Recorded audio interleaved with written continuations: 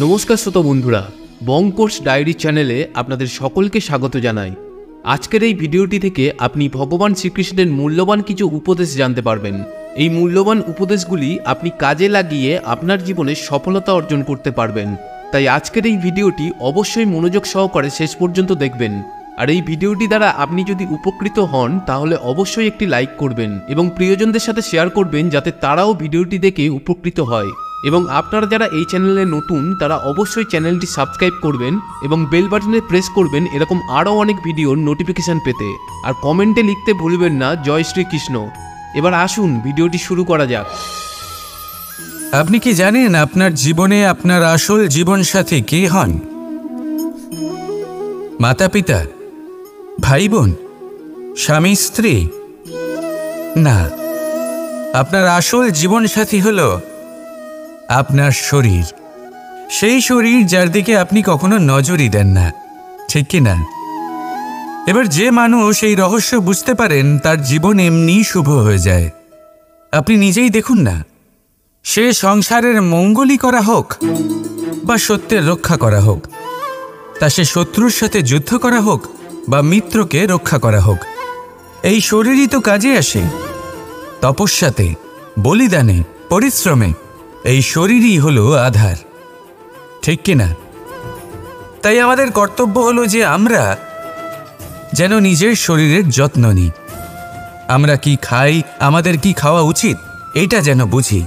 কোনটা সুপাচ্য আর কোনটা নয়, এটা যেন বুঝি। কারণ যেমন হবে অন্ন, মনও তেমনই হবে। যত ভালো অন্ন, তত ভালো মন। আর সুস্থ শরীর হলো সুস্থ মনের আধার, এ কথা অবশ্যই মনে রাখবেন। আর যদি মন সুস্থ থাকে, তাহলে সকল শুভ উদ্দেশ্য পূর্ণ হবে। তাহলে আসুন আর আমার সাথে ভালোবেসে বলুন, রাধা রাধা। সাফল্য। খুব সহজ এক শব্দ। এটা হলো, সেই সব শব্দের মধ্যে অন্যতম, যা মানুষ একটু বুঝলেই ভাবেন সব বুঝে ফেলেছি। আর যেই উনি বুঝতে পারেন সাফল্য কি, আজীবন সেই সাফল্যের পেছনেই ছুটতে থাকেন। এই সাফল্য হলো একটা খেলার মতো, যাতে মানুষ নিজের সমস্ত জীবন বাজি লাগিয়ে দেন। আর প্রত্যেক খেলার মতোই এরও কিছু নিয়ম রয়েছে।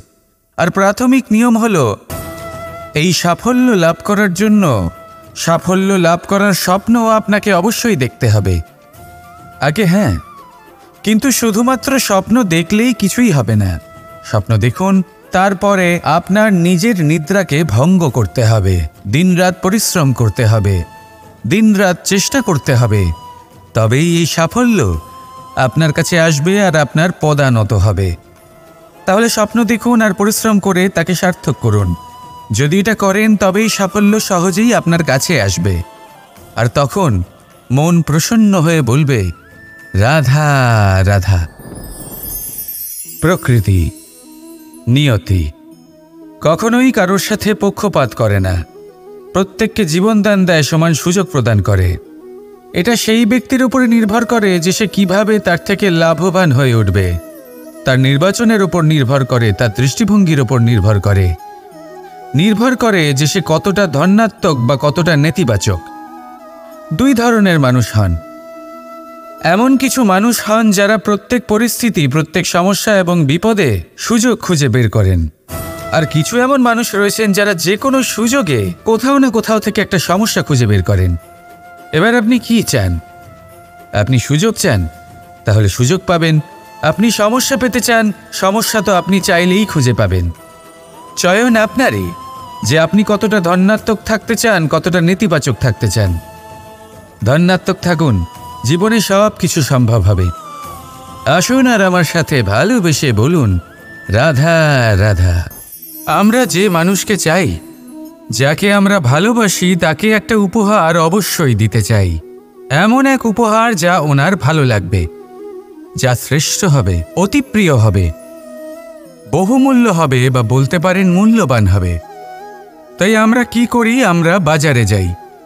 তার জন্য স্বর্ণ, আভূষণ, হিরে, মুক্ত এই সব নিয়ে আসি। কিন্তু এটাই কি সর্বশ্রেষ্ঠ উপহার? কখনোই নয়। সর্বশ্রেষ্ঠ উপহার হল স্বাধীনতা। তাকে নিজের মনের মতো বাঁচার স্বাধীনতা। যদি আপনি কাউকে স্বাধীনতা না দিতে পারেন, তাহলে সে কোথাও না কোথাও বন্দী হয়ে যায়। তার বিকাশ কোথাও না কোথাও আটকে যায়। কিন্তু যদি আপনি কাউকে স্বাধীনতা দিতে পারেন, তাহলে আপনি দেখবেন ও সমস্ত সংসারকে, এই জীবনকে নিজের দৃষ্টিভঙ্গি দিয়ে দেখবে, বুঝবে যে কোনটা হলো উচিত আর কোনটা হলো অনুচিত। আর এটাই হলো সর্বশ্রেষ্ঠ। আর এবার যদি কাউকে স্বাধীনতার মাধ্যমে এত বড় একটা শক্তি দিতে পারেন, তাহলে আপনি আমাকে বলুন, এর থেকে বড় উপহার আর কি হতে পারে? আসুন আর আমার সাথে ভালোবেসে বলুন, রাধা রাধা। সঞ্চয়।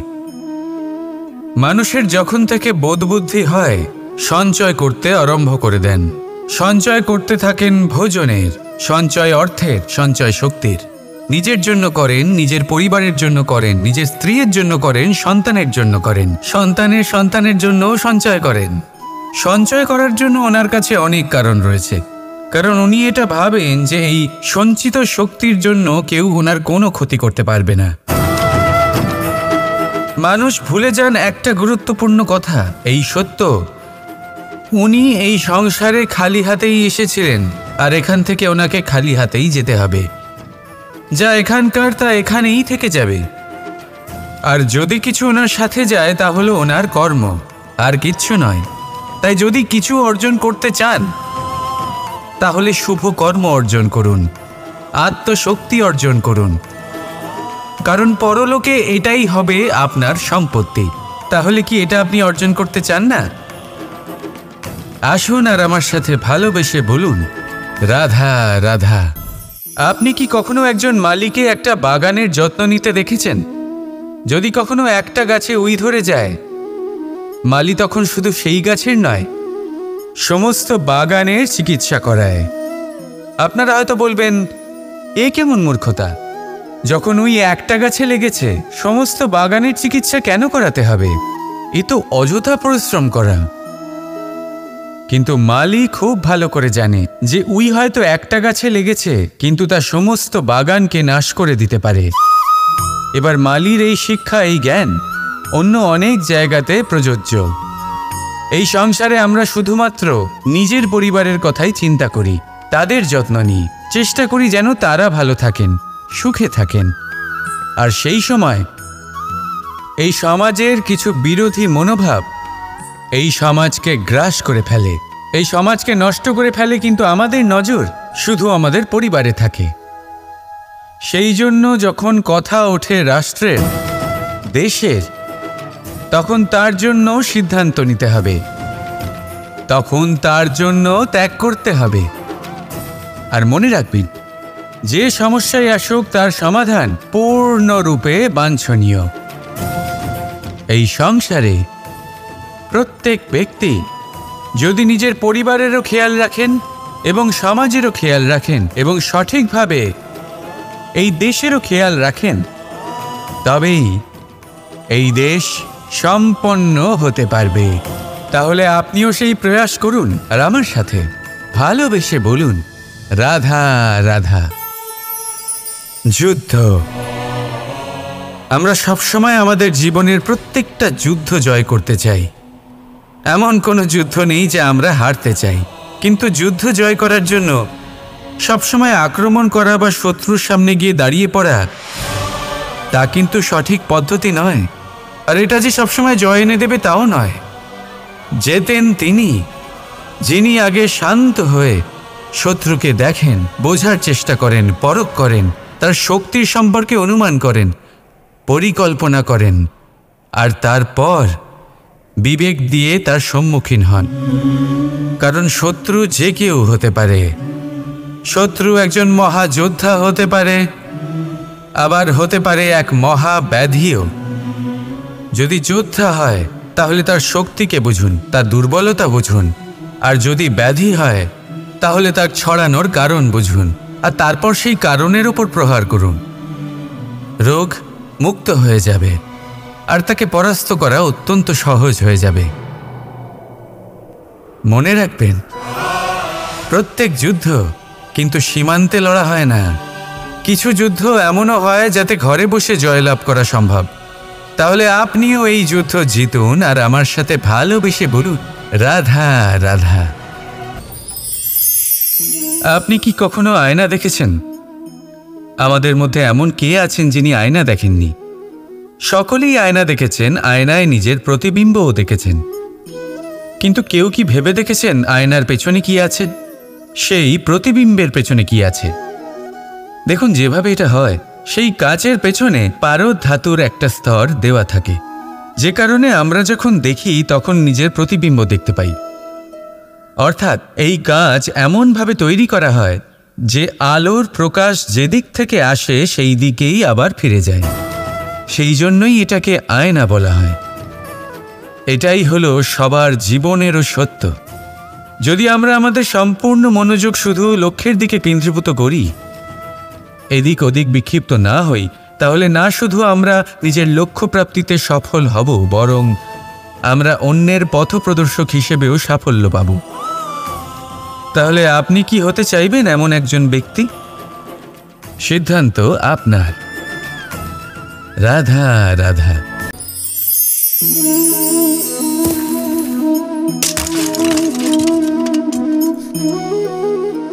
একই হলো? আমি আঘাত পেতেই এটা হাত থেকে পড়ে গেল কেন? ভেঙে গেল কেন? এবার আপনি বলবেন এরকমই তো হয়ে থাকে। এই জীবনে, এই সংসারে আঘাত লাগার পরে আমাদের হাতে যা থাকে তা পড়ে যায়। যা তৈরি হয় তা ভেঙেও যায়। কিন্তু এটা কি সত্যি? আপনাকে একটা কথা বলে রাখি। আঘাত পেয়ে পড়ে যাবার পরে সংসারের যে কোনো বস্তুই হাত থেকে পড়ে যাক না কেন। সাফল্য অবশ্যই আসে। যতই খারাপভাবে আপনি পড়ে যান, আপনি আঘাত পান। ভবিষ্যৎ অবশ্যই ভালো হবে। কারণ এই আঘাত অসফলতা। এই অসুবিধা, এগুলো আমাদের এমনভাবে পরিশুদ্ধ করে যেমন আগুন সোনাকে করে থাকে। সেই জন্য জীবনে শুধু সামনে এগোতে থাকুন। দৃঢ়তার সাথে এগোতে থাকুন। আর কখনো আঘাত পেয়ে পড়ে যেতে ভয় পাবেন না। কারণ এটা আসন্ন সাফল্যের সংকেত। আর সাফল্য তখনই আসবে যখন আপনি পড়ে যাবেন, যখন আপনি আবার উঠে দাঁড়াবেন এবং আপনি আবার জীবনে সামনে এগোতে থাকবেন। রাধা রাধা। সফলতা। অসফলতা। ব্যক্তির জীবনের দুই গুরুত্বপূর্ণ স্তর। প্রত্যেক ব্যক্তি সর্বদা সফল থাকতে পারেন না। প্রত্যেক ব্যক্তি সর্বদা অসফল থাকতে পারেন না। এবার এই দুই যখনই আসে, কিছু দিয়েও যায়, আবার কিছু নিয়েও যায়। যখন অসফলতা আসে, তখন তা আপনাকে সাহস দেয়, আপনাকে ধৈর্যশীল বানায়, আপনার মনোবল বাড়িয়ে তোলে, কিন্তু আপনার প্রসন্নতা নিয়ে যায়। যখন সফলতা আসে, তখন তা আপনাকে প্রসন্নতা দেয়, বিশ্বাস দেয়, বিনম্রতা নিয়ে যায়। এবার, অসফল হবার পরে ধৈর্যশীল হওয়া, এই সাহস জাগিয়ে তোলা, তাও বলা যায় সরল। কিন্তু সফল হবার পরে বিনয়ী থাকা সব থেকে কঠিন। কিন্তু ততটাই গুরুত্বপূর্ণ হল বিনয়ী থাকা। যখনই জীবনে আপনার সাফল্য আসবে, নিজের মনকে সংযত রাখুন। বিনম্রতাকে যেতে দেবেন না। যদি এরকম হয়, তাহলে সেই সাফল্য শিশিরের ফোটার মতো লুপ্ত হয়ে যাবে। রাধা রাধা। আপনি এটা দেখতে পাচ্ছেন? আপনি নিশ্চয়ই ভাবছেন এটা জট কি করে বাঁধল? তার কারণ এই হলো, আমি এই সুতো ঠিক করে গুছিয়ে রাখতে পারিনি। এটার দুটো দিক একসাথে জড়িয়ে গেছে। আস্তে আস্তে পুরোটা জড়িয়ে গেল জড়িয়ে গেল, আর তারপর দেখুন, এমন একটা জট পেকে আছে যে আমি কিছুতেই বুঝতে পারছি না এটাকে। এটাকে খুলব কীভাবে? তাই মনে রাখবেন, যদি কোনো লম্বা সুতোকে ঠিক করে গুছিয়ে না রাখেন, তাহলে সেটা জড়িয়ে যাবে। এইভাবেই আমাদের জীবনে, আমাদের জিহ্বা আমাদের কথা। যদি এই জিহ্বা আপনারা সামলে না রাখতে পারেন, তাহলে শুধুমাত্র কষ্ট পাবেন। তাই নিজের শব্দ এর ওপরে নিয়ন্ত্রণ রাখুন। সর্বদাই ভালো হবে। আর আসুন আমার সাথে ভালোবেসে বলুন, রাধা রাধা। এই ছোট কাঠের ডাল দেখতে পাচ্ছেন আপনি? একটা বৃক্ষ থেকে এরম হাজার হাজার ডাল পাবেন, যা দিয়ে আপনি আগুন জ্বালাতে পারবেন, যা নিজে জ্বলে আমাদের ভোজন বানাতে সাহায্য করে থাকে, যা নিজে জ্বলে অন্ধকারে আমাদের আলোকিত করে। যদি এটাই অন্যভাবে দেখা যায়, তাহলে এমনই এক ছোট্ট ডালের টুকরো একটা ছোট্ট ফুলকিতেই নিজের সাথে হাজার হাজার বৃক্ষ জ্বালিয়ে দিতে পারে।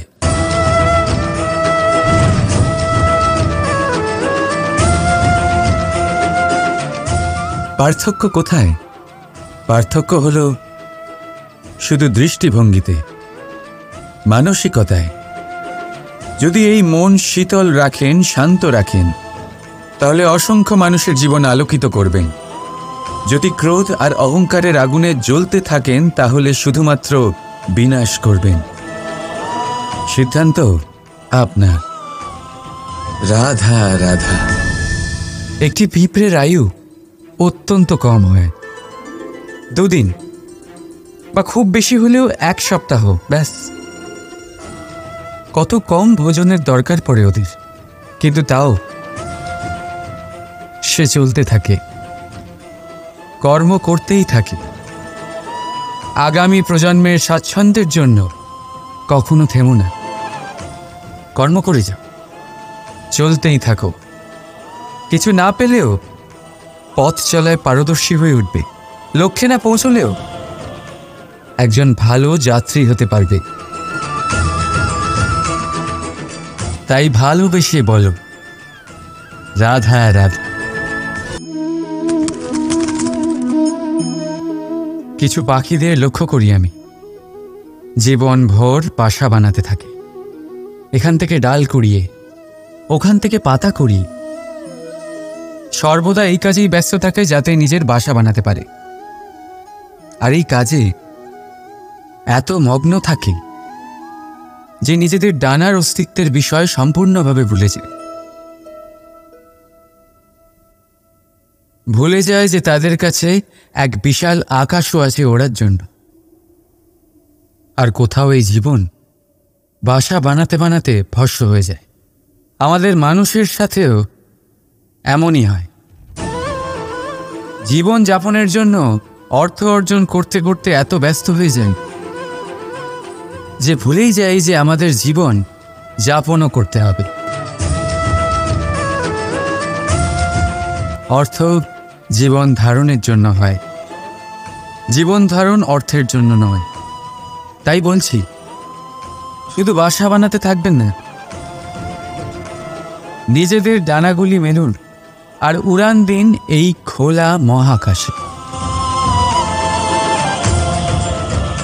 আর ভালোবেসে বলুন, রাধা রাধা, জীবনে সময় যেমনই আসুক, আপনজনদের সঙ্গ অত্যন্ত প্রয়োজনীয়। সুখ হলে বেড়ে যায়, দুঃখ হলে ভাগ হয়ে যায়। আপনজনদের সাথে কীভাবে সময় কেটে যায় তা বোঝাই যায় না। তাই না? একবার ভেবে দেখুন। যদি আপনাকে এমন কোনো এক স্থানে রেখে আসা হয়, যেখানে আপনার কোনো আপনজন নেই, আপনার কোনো আত্মীয় নেই, কোনো বন্ধু নেই, তাহলে কি হবে? প্রতিটা মুহূর্ত কতটা লম্বা মনে হতে শুরু করবে? ততক্ষণ মনে হবে, যতক্ষণ না আপনি কাউকে আপনজন বানাচ্ছেন। এখন ভাববার বিষয় এটাই যে কে আপনার সেই আপনজন। সেই আত্মীয় যার সাথে আপনার রক্তের বন্ধন? নাকি সেই বন্ধু যার সাথে আপনি বাল্যকাল থেকে বড় হয়েছে নাকি সেই সহকর্মী যার সাথে আপনি কাজ করেন? কেউ আপন সেই, যে বিপদের সময় আপনার পাশে থাকে। আপনজনের পরখ সময়ের কোষ্ঠী পাথরে করা। তাই মনে রাখবেন, আপনজনদের সাথে সময়ের খেয়ালই থাকে না। কিন্তু সময়ের সাথে আপনজনদের অবশ্যই চেনা যায়। তাই ভালোবেসে বলুন, রাধা রাধা। আমাদের জীবনে শিক্ষকের অবদান অনস্বীকার্য।